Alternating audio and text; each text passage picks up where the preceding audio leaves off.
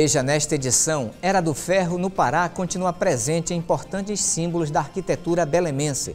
Para manter a boca saudável, saiba como escovar bem os dentes. Décimo Festival Gastronômico Ver o Peso da Cozinha movimenta a capital paraense. Atividades estimulam desenvolvimento de pessoas com síndrome de Down. Especialistas alertam tecnologia deve ser usada com moderação. E o bate-papo musical com a cantora Adelaide Matos. Nazaré Notícias desta sexta-feira, 13 de abril, já está no ar.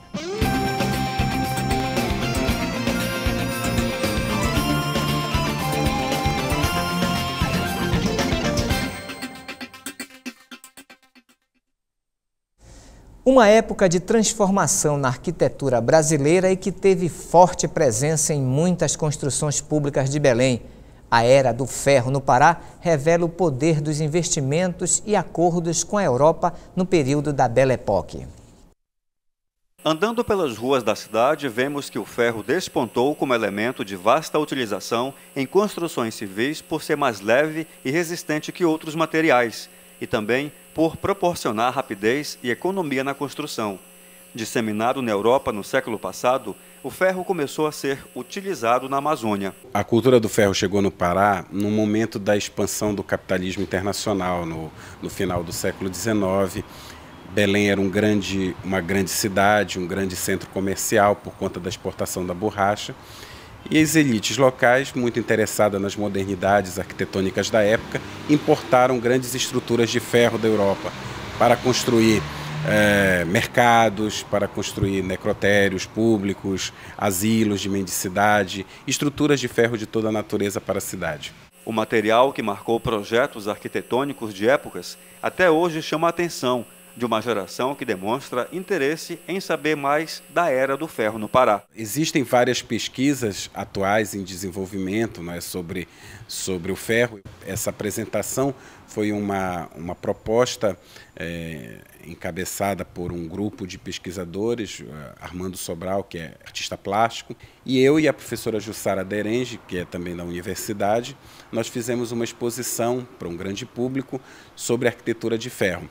Os detalhes nas estruturas de ferro, como nos coretos do século XIX, revelam como os engenheiros buscavam a perfeição em detalhes que lembravam os antigos estilos em metal. Uma memória a ser defendida e resguardada.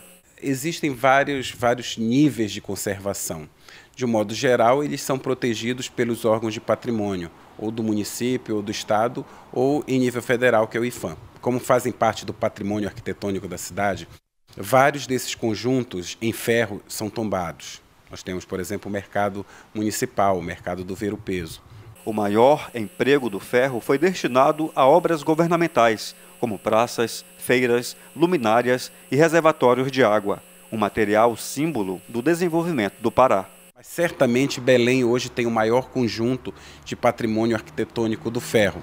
Não somente de arquitetura de ferro, mas também do emprego do ferro na arquitetura, o que é uma coisa diferente.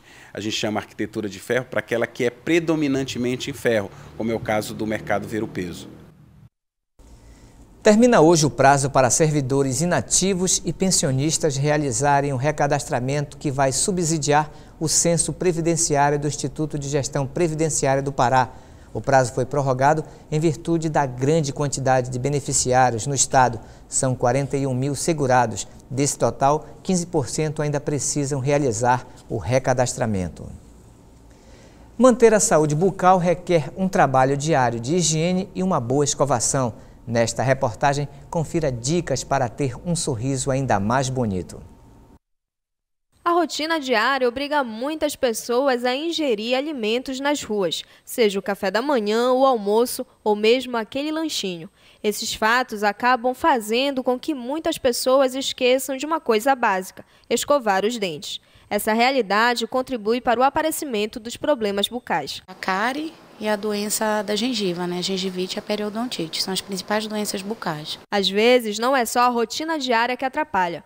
A escovação mal feita ou mesmo a falta dela também ajudam no aparecimento das placas e das cáries, além de causar a halitose, ou seja, a alteração no hálito. A principal causa desses problemas é a placa bacteriana, o biofilme que fica adquirido, né, aderido à superfície dental. Essa é a principal causa da cárie e da gengivite. E 90% da causa da, da halitose, né, é, pela falta de higienização da língua e do, da falta do uso do fio dental. Para quem usa a desculpa de não ter tempo para escovar os dentes durante a rotina de trabalho, existem alternativas que auxiliam na luta por uma boca saudável. O chiclete sem açúcar ajuda na saúde bucal. Além dele, alguns alimentos conhecidos como alimentos destringentes, como a cenoura e a maçã, também ajudam na prevenção da placa e na remoção de restos de alimentos, mas não substituem a escovação. Então, após cada refeição, é, o ideal é escovar os dentes para remover essa placa e a superfície interdental entre os dentes, o que vai remover essa placa é o fio dental. Para fazer uma boa higienização da boca, vale algumas dicas. O certo é escovar sempre os dentes posteriores e os anteriores, com ato do vai e vem, né, na superfície oclusal, movimentos circulares na superfície vestibular e palatina lingual dos dentes e principalmente a higienização da língua. Tem aqui muita gente esquece de higienizar a língua, é importante a higienização da língua. Uma dica importante também é acostumar as crianças desde cedo a escovar os dentes. O ideal é inserir a escovação desde o primeiro dentinho da criança. A partir da idade que apareceu o primeiro dentinho. Né? Geralmente é com seis meses, a fase que a, a, a erupção no primeiro dente é, a, é quando a gente tem que introduzir a escovação. Mas antes disso, a, a, mãe, né, o responsável pela criança, pelo bebê, também deve higienizar a boca do bebê, mesmo sem dente. Para quê? Para que aquele bebê ele esteja acostumado a manipular a boca dele. Porque nessa fase a criança está na fase oral. É tudo ela leva na boca. Ela aprende, ela conhece o mundo através da boca. Os últimos dados sobre a situação da dengue no Pará apontam que houve uma queda de mais de 85% no registro da doença com complicação e de quase 60% no número de casos confirmados de dengue clássica entre o início de janeiro e 11 de abril deste ano. E em relação aos casos notificados, a queda foi de 36%. Dos cerca de 13 mil casos suspeitos da doença, apenas 4.200 foram confirmados. Os municípios com maior número de notificações continuam sendo Belém, Parauapebas, Marabá, Altamira e Santarém. Belém recebe o décimo Festival Gastronômico Ver o Peso da Cozinha Paraense. O evento mostra a gastronomia do Pará, produto importante para o turismo da capital paraense. A capital paraense tem se desenvolvido bastante quando o assunto é turismo. Em Belém, são dois os focos principais: natureza e cultura. Inserida na cultura está a gastronomia.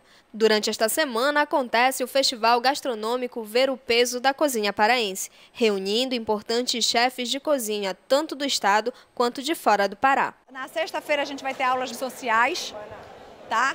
Que isso nunca tinha sido feito num evento, onde a gente vai pegar o os alunos do projeto Propaz e alunos do SENAC de gastronomia e os chefes vão dar aula para eles. No sábado vai ter a mesa redonda que acontece no hangar e é aberta ao público. E no domingo é, é a grande festa, que são os dois concursos, as finais dos dois concursos, tanto profissional quanto amador. E à noite o jantar das boieiras, que para mim é o melhor jantar de todos. Este evento de gastronomia está em sua décima edição e está inserido no Plano Estratégico de Turismo no Pará, porque, segundo pesquisas, a gastronomia foi apontada como um dos principais atrativos do turismo no estado. A grande importância do evento é a divulgação da nossa gastronomia para grandes chefes do Brasil. É mostrar o que o Pará tem de sabores ainda não descobertos fora daqui. Mônica é chefe de cozinha do terceiro melhor restaurante do Rio de Janeiro. Durante suas visitas a Belém, ela se encanta com a diversidade e procura sempre cuidar bem dos produtos existentes aqui. É a nona vez que eu venho ao ver o peso, né? Eu só faltei o primeiro porque realmente eu tinha uma agenda apertada, não deu para vir. Eu toda vez que eu vou embora, eu levo principalmente na minha memória coisas importantes que eu vejo aqui, como as novidades em frutas, as coisas bonitas que o Pará tem para mostrar para gente. Eu gosto muito de vir ao Pará para comer o Pará aqui. Eu levo coisas que eu sei que não vão fazer falta, tipo a farinha que tem em abundância, o próprio tucupi, né, que a gente com isso favorece com que a Anvisa libere a, a, a exportação, entre aspas, dele para o resto do Brasil. Eventos como este ajudam a divulgar a gastronomia do estado. Quem vem até o Ver o Peso, um dos pontos turísticos mais importantes da capital paraense, encontra até boas receitas com os produtos comercializados aqui. Tem um prato que a minha mãe prepara chamado cunhapira ou canhapira, que é o suco do tucumã preparado com carne. Ela pila o tucumã, tira o suco dele e prepara com carne. É por isso que eu venho com frequência aqui na Barraca da Carmelita, que ela tem essas frutas exóticas. Né? Para dona Carmelita, o número de turistas tem aumentado ao longo do tempo. Feirante há 43 anos, ela conta que o segredo para atrair sempre mais a freguesia é a atenção. Cada ano vem mais um pouco, sabe? Eles sempre, todo ano, de vez, há bastante tempo já. Mostra a fruta melhor, que no caso do bacuri. Tem um bacuri que tem mais filho, outros tem menos, sabe? Até eu mostro, mostro a marca, o que é mais doce. Vou mostrando as frutas todas que nós temos na Amazônia. Vou dando para eles provarem e para eles conhecerem.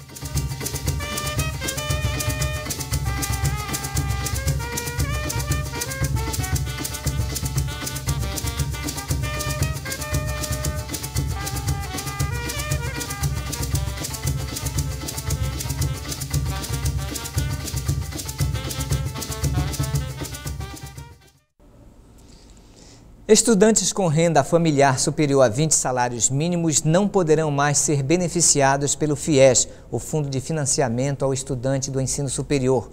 Uma portaria do Ministério da Educação define melhor o perfil do universitário que poderá financiar 100, 75 ou 50% da mensalidade do curso. Segundo a regra em vigor, o percentual tem como base o peso da mensalidade na renda familiar. Agora o MEC vai agregar um novo critério ao financiamento. Não haverá mudança no financiamento da mensalidade de alunos já beneficiados pelo FIES, cuja renda familiar seja superior ao definido pela nova regra. Pessoas com síndrome de Down estimuladas desde cedo desenvolvem várias atividades comuns. A sua faixa etária em Belém, uma instituição filantrópica realiza um atendimento especial que contribui para a superação das limitações. As aulas sensoriais ajudam a desenvolver os movimentos com mais precisão. A alteração genética que ocasiona a síndrome de Down afeta o desenvolvimento determinando algumas características físicas e cognitivas, mas nada que impeça a felicidade.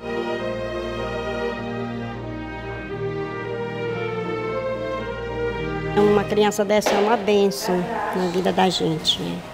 Durante muito tempo, a síndrome de Down foi vista como uma doença, trazendo preconceitos da sociedade. E existe muito ainda preconceito, justamente porque as pessoas não entendem que eles são capazes. Se estimulados, se nós trabalharmos desde pequeninos, desde que nasce, eles são capazes.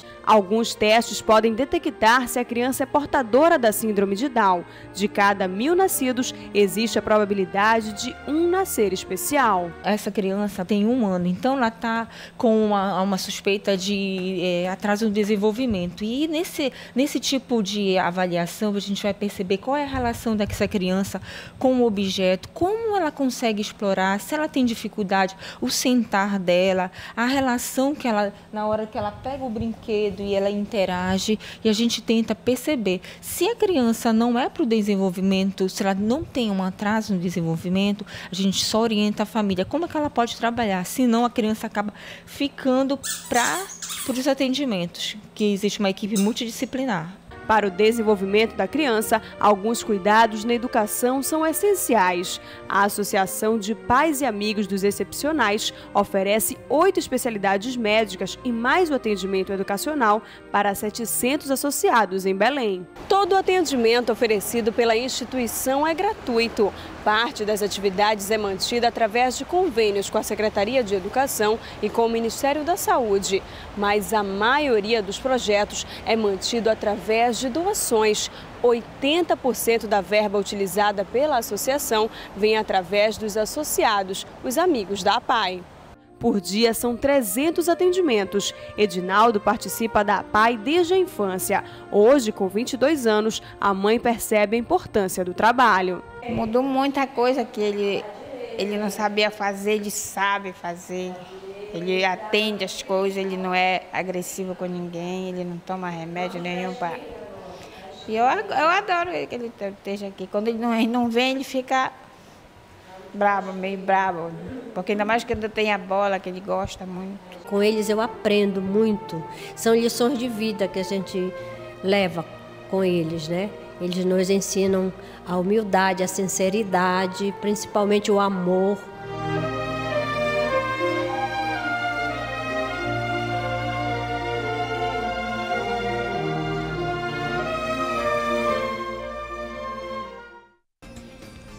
O Ministério da Justiça se comprometeu a ajudar o Estado de Rondônia a fazer a segurança no canteiro de obras da hidrelétrica de Giral. Conflitos recentes resultaram na prisão de sete pessoas em flagrante e na expedição de 24 mandados de prisão preventiva. Na semana passada, cerca de mil operários pediram demissão desde o incêndio de 3 de abril que destruiu parte dos alojamentos dos funcionários. As causas que motivaram o conflito ainda estão sendo investigadas. E você acompanha ainda nesta edição. Especialistas alertam: tecnologia deve ser usada com moderação.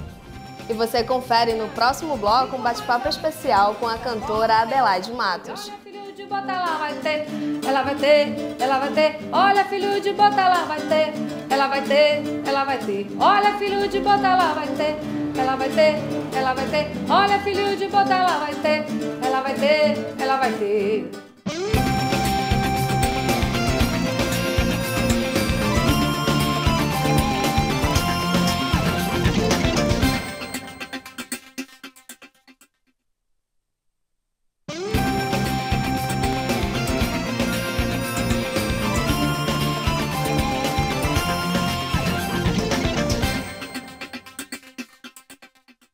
Em nota divulgada ontem, a Conferência Nacional dos Bispos do Brasil afirmou que lamenta profundamente a decisão do Supremo Tribunal Federal que considerou não ser crime o aborto de fetos anencéfalos.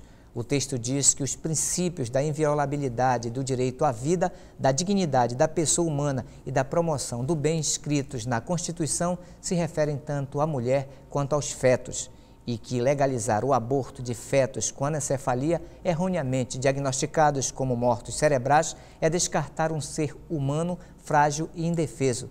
O documento também afirma que a decisão do STF não levou em consideração a prerrogativa do Congresso em legislar. A nota é assinada pelo presidente da CNBB, Cardeal Raimundo Damasceno Assis, e pelo secretário-geral da entidade, Dom Leonardo Steiner. E o Janela Aberta desta segunda-feira tratará deste assunto. O entrevistado é o advogado e representante do Centro de Bioética da Amazônia, Sandro Alex. O Janela Aberta vai ao ar segunda às nove da noite. A Prefeitura de Bonito, no Pará, termina hoje as inscrições do concurso para 197 vagas em cargos de nível fundamental completo e incompleto, médio completo e incompleto e superior. São 88 vagas efetivas e 109 para formação de cadastro de reserva. As inscrições devem ser feitas pelo site www.institutoagata.com.br. A prova objetiva de múltipla escolha está prevista para o dia 27 de maio. Computador, internet, tablet, celular ou quem sabe tudo junto. Os dispositivos tecnológicos estão hoje em todos os lugares e fazem parte da vida de muita gente, mas especialistas alertam que o uso desse aparato deve ser feito com moderação. Se você tivesse que passar várias horas sem celular e sem internet, completamente desconectado, como seria? Eles fazem parte do dia a dia. Esta especialista concorda que hoje é impossível viver sem os eletrônicos, mas ressalta que é preciso usar a tecnologia com moderação. Não podemos mais regredir, né? Os produtos eletrônicos, celular, todos esses, é, o computador, os tablets, os notebooks, eles vão fazer parte de nossas vidas. A partir de agora não tem como regredir, mas tem como nós nos limitarmos. O ser humano é praticamente dependente da tecnologia, um fenômeno que surgiu de 10 anos para cá com o advento dos celulares. Desde então, a eletrônica só avançou. Tem pessoas que têm quatro celulares. Quatro celulares.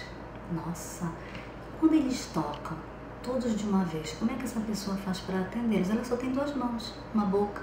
A tecnologia pode causar dependência pelas facilidades que permite. Quando o uso exacerbado de tanta tecnologia passa a prejudicar a vida de uma pessoa, ela é considerada doença. É a monofobia, quando uma pessoa tem o medo de ficar incomunicável. A doença tem tratamento, o paciente deve procurar um especialista. A maior preocupação dos especialistas é quanto às relações pessoais. A tecnologia pode ser uma fuga do relacionamento real. Preciso educar. Uma das coisas que tem hoje, crianças muito pequenininhas com celulares, dois anos de idade. Uma criança de 2, 4, 6, 8 anos, ela tem que ter limite para lidar com esse aparelho eletrônico. Ela não pode ficar. Isso somos nós que colocamos limites, pai e mãe. Não é a criança que vai dizer o tempo dela. O adulto, ele tem que aprender a se educar. Senão, ele perde essa relação interpessoal com o meio dele. Ele passa a se relacionar com o notebook dele, com o celular, com os tablets. Ah, esse relacionamento para ele é muito fácil. Mas se ele não aprender a se relacionar com o meio, com as dificuldades que o meio traz, e ele tem que aprender a driblar essas dificuldades, ele vai ter problemas de doenças, sim, doenças emocionais. O Museu da Universidade Federal do Pará e o Museu Paraense Emílio Guilde tiveram peças de seu acervo selecionadas para fazer parte da exposição Amazônia Ciclos de Modernidade, que acontecerá a partir do mês de maio no Rio de Janeiro. A mostra integra a programação da Conferência das Nações Unidas sobre Desenvolvimento Sustentável, a Rio que acontecerá de 20 a 22 de junho na capital carioca. As obras poderão ser visitadas no Centro Cultural do Banco do Brasil e serão abertas para o público em geral. O objetivo é mostrar a imagem da floresta a partir do urbanismo, da arqueologia e da arte feita na própria região. Nosso bate-papo musical de hoje é com a cantora Adelaide Matos. Ela fala sobre sua carreira e os novos projetos. 25 anos de carreira e durante essa trajetória, Adelaide Matos já conquistou diversos prêmios, como destaque da música paraense e cantora revelação. Para quem gosta da mistura de ritmos, o nosso bate-papo de hoje está mais que especial na presença de Adelaide Matos. Adelaide, como foi que começou a tua história de cantora? Eu nasci cantando, porque minha mãe, inclusive, me chamava de meu passarinho. Mas eu trabalhei 25 anos, de, sabe, de carteira assinada, mas eu sempre gostei de cantar. Eu até fugia da minha mãe para cantar, né? Porque eu dizia que eu ia estudar na casa das minhas amigas, eu ia viajar com a banda Realce, que eu comecei a cantar na banda Realce. Aí cantei na banda Bicho, na banda Esquema Central. Aí já levei a sério a minha carreira de, de cantora mesmo, né? E saí dos meus empregos e fiquei só cantando. Cantei em várias bandas. E até hoje eu estou aqui cantando. Né? E esse talento, ele é bem reconhecido, porque durante a sua trajetória você recebeu diversos prêmios e ainda recebe, né? Recebo. Agora, nesse ano de 2012, eu recebi três prêmios, né? Mulher Personal Steiner, lá no Teatro Gasômetro. Recebi dia 16 de fevereiro agora, no Baile dos Artistas, é, destaque na música paraense. E recebi agora em março, cantora do ano, Mulheres de Março, né, que foram várias personalidades, e cantora do ano 2012. Olha, se veste de branco sem cantar de canto para poder entrar. É um moço tão bonito, parece que veio de outra capital. Cheio de gestos estranhos, com olhos castanhos pra encantar. Olha, tira o chapéu que eu quero ver, eu quero ver, eu quero ver. Olha, tira o chapéu que eu quero ver. Eu não componho, eu só sou intérprete. Eu tenho meu irmão, Nando Matos, né, que acompanha minhas músicas desde o primeiro LP, desde o primeiro CD, desde o primeiro LP que ele compõe, que eu gravei lambadas no, no LP, e o, o, os outros CDs que eu gravei também tem música dele, música do Edilson Moreno, né? E o Nando Matos, que é meu, meu irmão, que é meu compositor. É, é, legal essa parceria assim entre vocês dois? Ah, é muito bacana. E ele fica muito feliz porque, inclusive, tem uma música dele, está tocando nas rádios já, né? Dono do meu coração, está tocando bastante. E a gente toca, vende bastante CD e é muito bacana, nós somos assim muito unidos. Olha, filho de bota lá vai ter, ela vai ter, ela vai ter. Olha, filho de bota lá vai ter, ela vai ter, ela vai ter. Olha, filho de bota ela vai ter, ela vai ter, ela vai ter. Olha, filho de bota ela vai ter, ela vai ter. Mas então, com essa vontade, as pessoas já podem esperar esse ano? Pode, se Deus quiser, lançamento para dezembro, no Natal, né, junto com o Roberto Carlos. É, agora, o meu novo CD que eu lancei agora no Paraclube já está à venda, né? A pessoa pode ligar para o meu telefone e adquirir, porque não está nas lojas. Mas esse ano, se Deus quiser, vai ser esses meus dois projetos. Meu CD de músicas religiosas e meu DVD. Qual é o telefone? Telefone 3033 1250 e 9175 1097. Aí liga para mim que eu levo na sua residência, não tem problema. Eu levo eu mesma. Adelaide, muito obrigada por conversar com a gente. Uma boa sorte que os projetos realmente deem certo nesse final de ano. E o Nazaré Notícias vai ficando por aqui. Tenham todos um excelente final de semana e a gente se vê segunda-feira. Mãe, mãe de Nazaré, símbolo de fé de uma região. Mãe, mãe de esperança, corda que balança, demonstrando a fé. Pés feridos pelo chão, na mesma direção, pra casa de Maria. Hoje é mais um ano, é mais um sírio é mais um dia. Mãe que retira a dor, que semeia o amor, que faz caminhar.